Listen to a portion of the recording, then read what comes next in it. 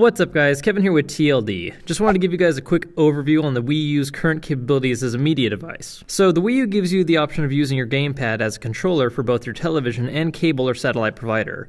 And while it can be a bit tedious to set up, it is actually very simple to do. All you need to do is go to the settings on your Wii U, select TV remote, then you just have to try each signal associated with that company until one works, rather than look up an individual model number. Once that's done, you can now use the gamepad as a simple remote device, allowing you to turn on your TV and cable box, change channels, volume, and inputs, and search guides using the controller's analog pad. While it doesn't give you control over every single aspect of your television experience, it does make it very easy to switch between gaming and just standard television watching. In addition to TV controls, a lot of the streaming standards have also made their way over to the Wii U, including Hulu Plus, YouTube, and Netflix, though at this moment Netflix is the only one of these services currently available.